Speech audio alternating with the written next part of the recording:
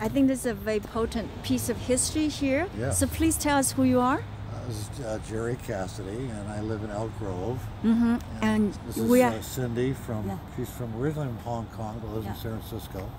and And uh, we're up- originally from mainland China, Yeah. Zhongshan, mhm, where our forefathers reside.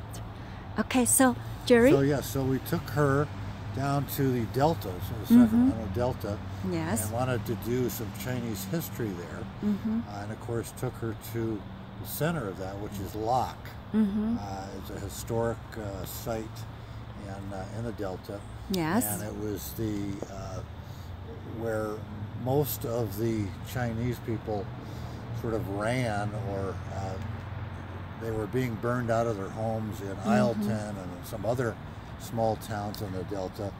And a, a generous gentleman uh, in Locke, I believe that was his name, um, he uh, donated or rented them the land, about 50 acres, to uh, that they could uh, set up camp there. And of course, they set up camp. They also uh, started building buildings. Uh, they first they uh, Sun Yat Sen yes. was uh-huh. there, and uh, he built what is now the schoolhouse. Sun Yat sen was there? Really? Yeah. Matter of fact, the schoolhouse was originally uh, they had for fundraisers for his revolution in uh, China. Wow. And, uh, they were uh, had gatherings there and planning sessions there. Mm-hmm.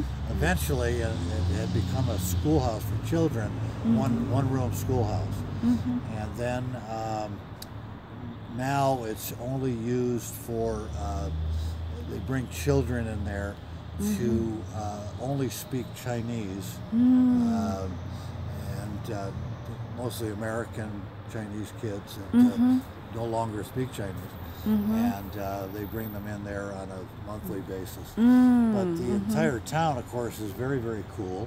Yes. And, uh, has a, ma- a massive amount of history. Everything from opium dens to uh, prostitution, houses of prostitution, Mm-hmm. brothels, uh, gambling casino, uh, and a lot of written history yes. about uh, the discrimination and the killings and Mm. uh, uh, harassment of Chinese people Mm-hmm. that uh, had, uh, you know, been brought over here uh, to work on the railroad. Mm-hmm. And then once the railroad was finished, they were on their own and settled in the Delta area, did farming and what have Mm-hmm. you. So it's uh, it's an incredible uh, history there. You could spend uh, you know a couple of days uh, you know walking through each of the buildings, but uh, it's just uh, you walk in there and it's a drop back in time back to the 19th century. You know, 1912 is when it started. Um, but uh, so she's uh, getting to learn a lot of the history. Now we're up here in the great Nevada City visiting with my friend Nikko.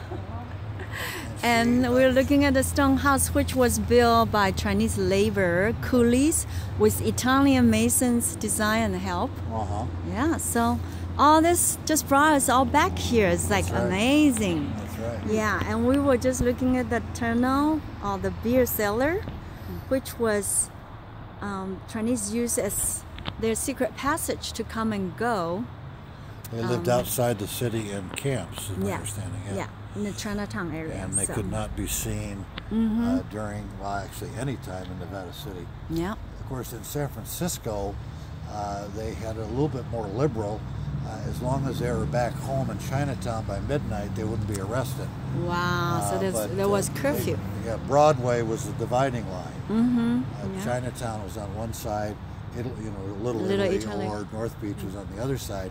They of course wanted the Chinese labor for doing dishes and cooking and that kind of thing. Mm-hmm. Uh, but you had to have a green card or a Mm. work card, Mm-hmm. and if you got caught over there without a card Mm. or after midnight, you could be arrested. Wow. So many that unfair cha- treatment. That didn't Mm. change uh, until probably the 1940s. Yes.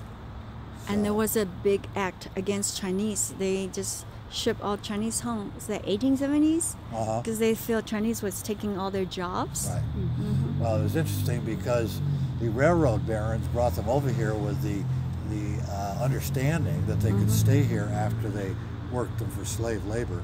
Yes. Uh. And they hardly paid anything Yeah. uh, to work on the railroads, but they, the Chinese figured, well, we'll be able to stay here afterwards. Mm-hmm. Yes. And as you say, they basically tricked them Yeah. and uh, shipped a lot of them back to uh, to China uh, in the 1870s. Mm-hmm. Yeah. But, uh, so I've, I've yet to bring her to Angel Island. Uh, they just Yes, renovated. Uh, Cindy. Yeah. like having all this Chinese flashback. well, Great. she knows that I know a little bit about history. And yes, been you, trying to you know her. lots of histories. Yeah. Yes. Yes.